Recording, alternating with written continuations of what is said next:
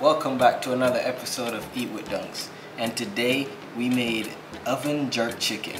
If you like spicy food, this one should be in your top three. Let's give it a try. Mmm.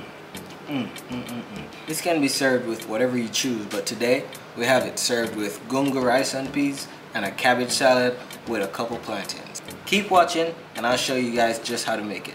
I've already seasoned the meat here using a tablespoon of all-purpose seasoning and ginger powder, a teaspoon of rosemary and allspice, and about 4 tablespoons of jerk seasoning. We're just gonna rub in our seasoning real good. You gotta caress the meat and make sure you fully cover the chicken. Make sure you're getting in every single crevice of your leg quarters. And you can use whatever meat you want to use for this. I just got leg quarters because I prefer jerking those. The trick is more caressing. No, for real. Look at it. This is how you know it's gonna be good.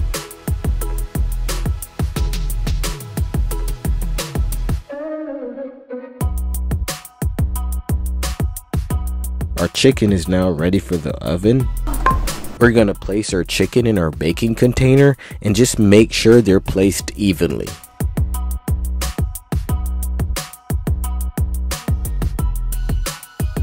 Let's cover it with foil paper so that meat can be tender throughout.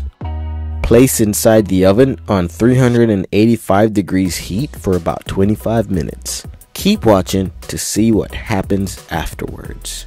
In the meantime, let's get our rice and peas ready.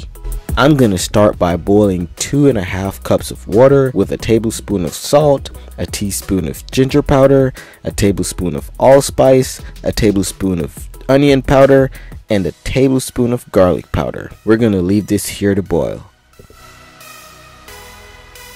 I'm gonna add a tablespoon of sugar and some thyme leaves to the water. The gungo peas are already cooking and I'm using canned peas. They're called pigeon peas if you're looking for these cans in the stores. Now for some flavor. We'll add some coconut milk and trust me when I say this is what makes rice and peas rice and peas. It is not the rice, it is not the peas, it's the coconut milk.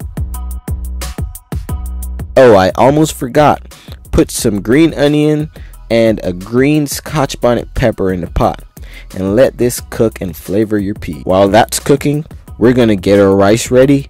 Guys, if you wash your rice, pause this video and hit the like button, okay? You gotta wash your rice. We're just gonna add the cooked peas to the rice now and get it ready for the magic. Add some butter and let the rice cook. While that's cooking, let's check on our chicken.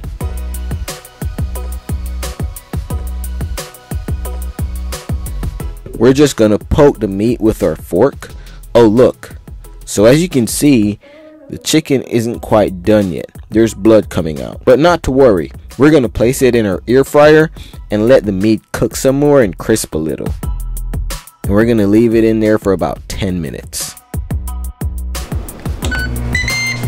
Meanwhile, let's prepare our veggies for a jerk sauce. Cut chunks of bell peppers and cut a whole scotch bonnet pepper into small pieces.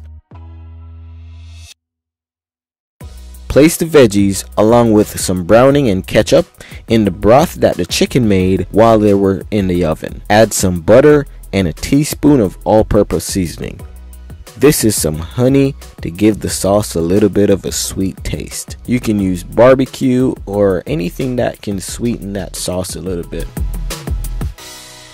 Now, Thoroughly stir before placing our chicken back into our baking bowl.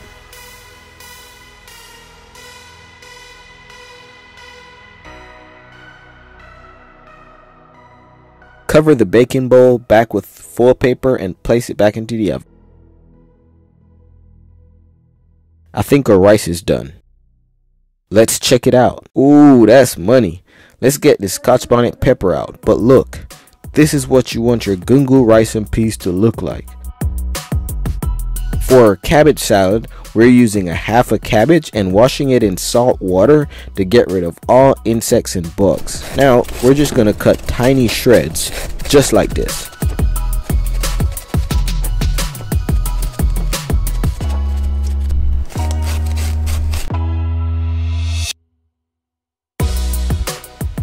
We're using a tiny grater that makes small shreds of carrot, and I'm only using one carrot for this. Guys, trust me, I'm not big on carrots, but this salad is good. When we're done with the carrot, we're gonna add some garlic salt and 2 tablespoons of this magic mixture. Actually, it's no magic. It's just some white vinegar, olive oil, and brown sugar mixed together. Now just mix it all in until it looks something like this. Is your chicken done?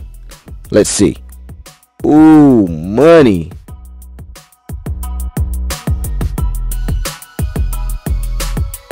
We're just gonna kinda cover the chicken with some of the sauce. Let it soak through the meat like this.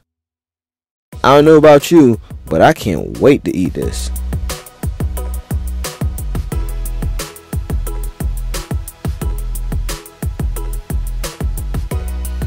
Let's make a plate.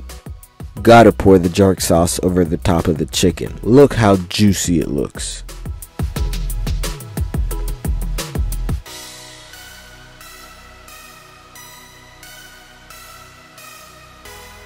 and the plantains. Listen, at this point, I feel like I eat fried plantains with everything. I bet you over there like, damn, this boy can cook. But I know you can too.